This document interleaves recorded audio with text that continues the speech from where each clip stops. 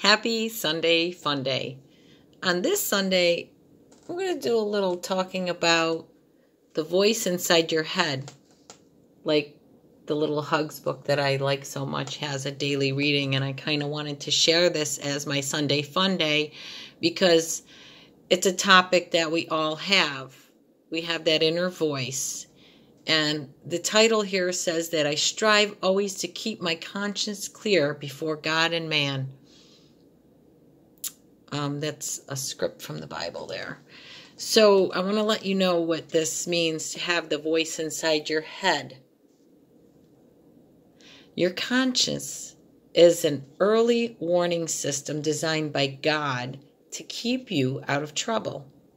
I kind of feel like that happens. You know what I mean? You always get like that little, uh oh, watch out. That's that voice inside your head. Hmm. They're calling it the conscious. Whenever you're about to make a significant error in judgment, a little voice inside your head has a way of speaking up. And it's just like I said, uh oh, or oops, or something like that. Something in your head, that little voice in your head. Watch out.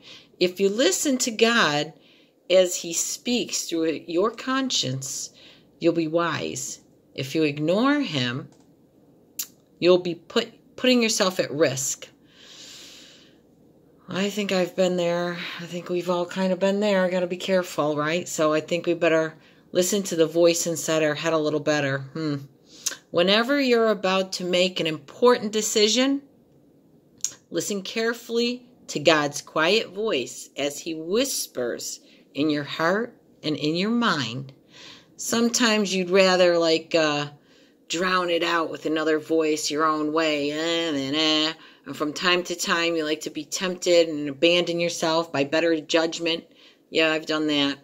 But uh, we have to remember that the conscience, that quiet little voice that we pay careful attention to, we should definitely pay careful attention to it.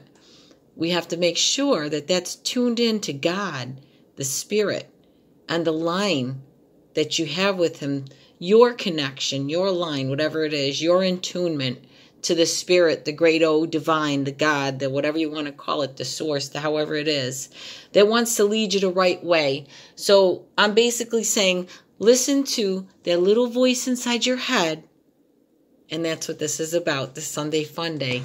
And even just watching the snow fall down so beautiful on a day like today, you can just like find yourself lost in time, listening to that voice inside your head. Till next Sunday Fun Day, have fun listening.